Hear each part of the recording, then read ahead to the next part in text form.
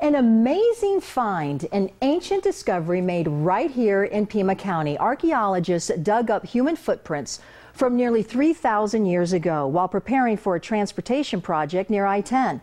9 Inside's Jennifer Dela Cruz took a special tour of that site today, and she explains what those findings mean. Jennifer.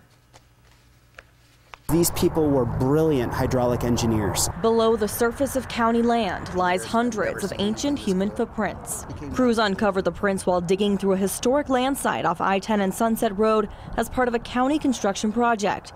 Dating back between 500 and 800 BC, the discovery unveils human activity and ingenuity along the eastern bank of the Santa Cruz River. The fact that we have true evidence of how people were moving and how they were operating in these fields, which is to date uh, the oldest known in the American Southwest, specifically in an environment that was very inhospitable. It was difficult to get water and to sustain these crops through that with the amount of water that they were getting. An archaeological investigation now underway after prints of adults, a child, and even a canine were unearthed. And we saw dog toes on top of a human footprint.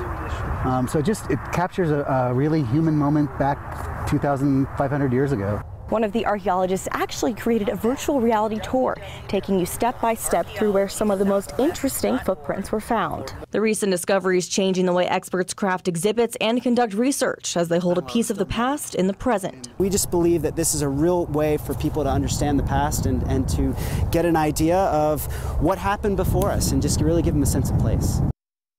If you're interested in taking a tour, the Pima County has opened the site to the public. They will be hosting tours tomorrow from 10 to 2 p.m. Val, back to you. All right. Thank you, Jennifer.